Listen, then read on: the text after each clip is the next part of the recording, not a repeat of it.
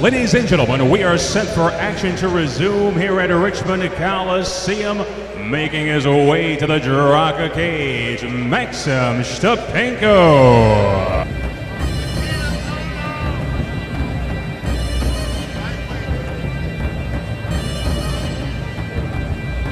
And Ryan, here is where the rubber meets the road. Maxim Shtepenko, the first of the Russian fighters, our guest here in Richmond, professional Russian fighter. Uh, first fought on Draka 4 in 2009. 3 and 2 as a pro. Maxim has had marginal success in MMA with a 3 and 3 record, but he's had tremendous success in other combat sports. He's been a Russian sambo champion, a kickboxing champion in Siberia in the Far East. Uh, and as we know of Russian fighters, they are uh, tough as nails. Uh, actually has a decision loss to Alexander Matmuratov, who we'll see in the next fight. So uh, these guys have been here for a few days, getting acclimated to America, and they are ready to, to battle. Cannot wait. Looking forward to it. One thing I admire about a lot of Russian pros. Stone cold, uh, faceless fighters of all time. He would come to the ring looking upset, grumpy, go in, knock somebody out, go home. Same expression. Never rattled. And, and that's that's Russians. They're strong, they're tough, they're proud. And have a huge, a wonderful history in the fight. And his opponent, Jeremy Carper.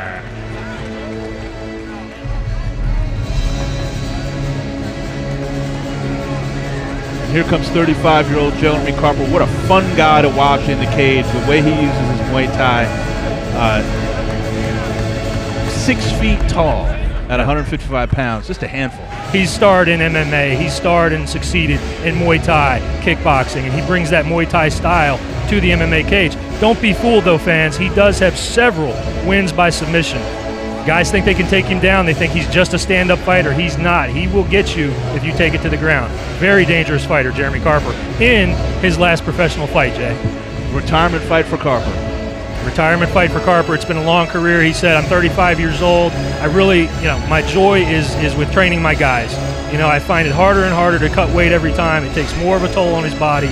And, uh, you know, he just loves teaching and, and, and pushing his guys to the level of success that he has had in MMA. Well, I mean, what a source of experience, what a source of knowledge for his students. And here's a guy, one of the fun things to watch Jeremy Carper do is his leg kicks and his Muay Thai kicks,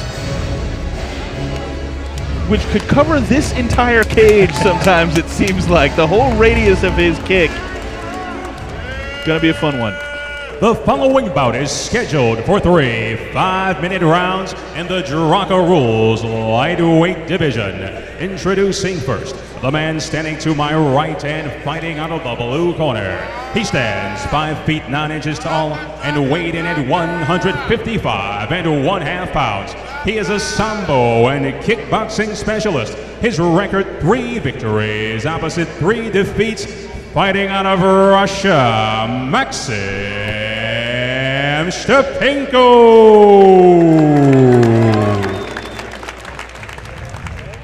His opponent stands across the cage to my left and fights out of the red corner. He stands six feet tall. He weighed in officially at 155 and one quarter pounds.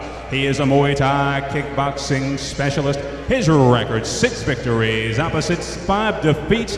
Fighting out of Martinsburg, West Virginia, Jeremy Carper. Your referee, Scott Howard. Mike Markham, the best in the business. And of course, Ryan, another one of those aphorisms styles make fights. What do we need to, Steve, to see from Shtepenko to counter all the things that we know Carper's good at? Well, here's what we've got, Jay. We've got two guys. One's a kickboxing champion. One's a Muay Thai fighter. Um, the, the difference between these two fighters could potentially be the sambo of Stepenko. If he's able to get it to the ground, what he can do on the ground. And again, as I said, Carper very tricky on the ground. Can get you in a guillotine, uh, anything very quickly. So this should be a great matchup. There's two huge leg kicks from Carper. One of it takes Stepenko to the ground.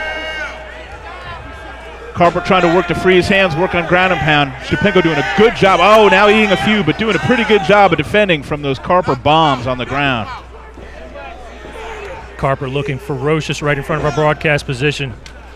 Fighting like it's his last fight, Jay. and inviting Stepanko back up onto his feet.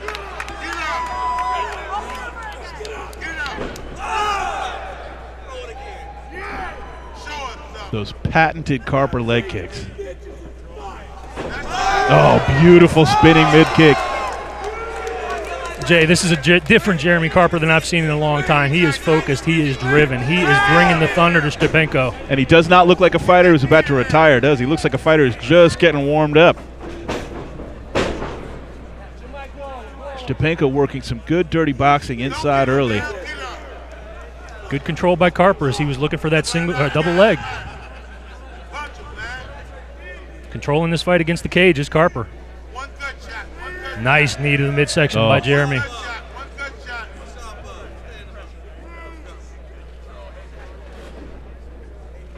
Again, though, Stepanko, as we as we alluded to earlier, not panicking, just biding no, his calm, time. cool, collected, landed, landed a serious blow. Looked like a short hand, and changed the entire complexion of this fight just like that. A body shot to Carper that doubled him over. And Maxim Stepanko is wondering what the big deal was. A vicious body blow. Hopefully, we will see it on the replay because all the action took place right in front of our broadcast position, but it was difficult to see. Carper absolutely had the upper hand, but a big body blow from Stepanko changes the entire fight. And we're going to see it again here in the replay. Let's see. Oh, that short left hand from Stepanko right on the liver.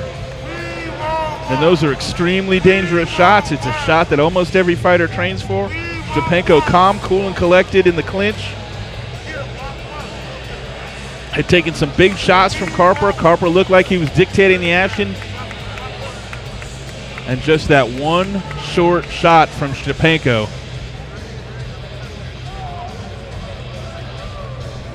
and it may have sent Jeremy Carper into retirement.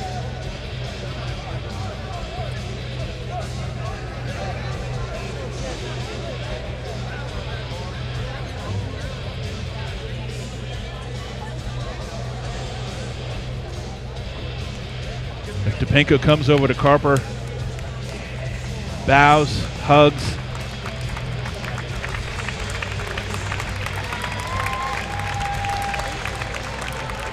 You see good sportsmanship in other sports, but none better than MMA. Here's Mike Markham.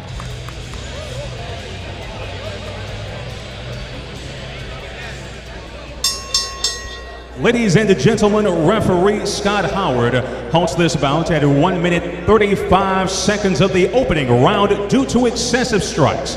Your winner by technical knockout, Maxim and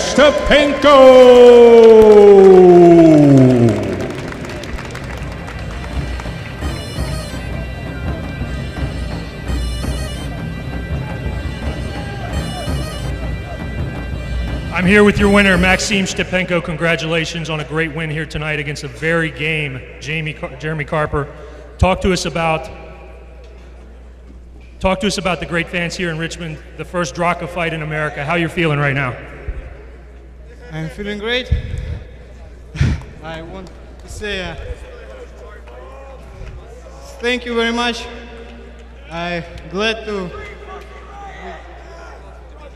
be here fight in America. My first time in this great country. Well, it was I'm happy. It's happy. Well, we're happy too. It was a great performance, Maxim. Thank you so much. Congratulations. I want to bring Jeremy Carper in. I'm not going to keep him long, but fans, I want everybody to give a, a big round of applause to this young man. I've been following Jeremy for most of his MMA career, almost back to the very start. This is Jeremy's last fight as an MMA fighter. I just want to say, Jeremy, congratulations to you on a great career. I know it was a tough night tonight, but thank you for everything you've done for the sport of MMA. Thank you for your performance here tonight. Thank you, Ryan, and thank you, Richmond. Uh, I fought in this city more than more than any fought in.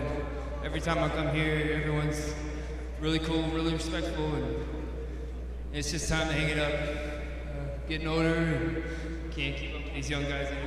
So it's time to start passing the knowledge on to the younger, younger guys and girls and move on to the next chapter. Thank you guys so much. Jeremy Carper, everybody.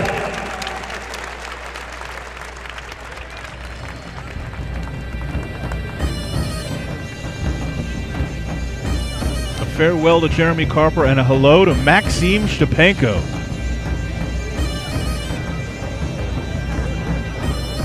Perfectly accurate, perfectly timed, perfectly weathered storm. And a body blow that sends Jeremy Carper into retirement.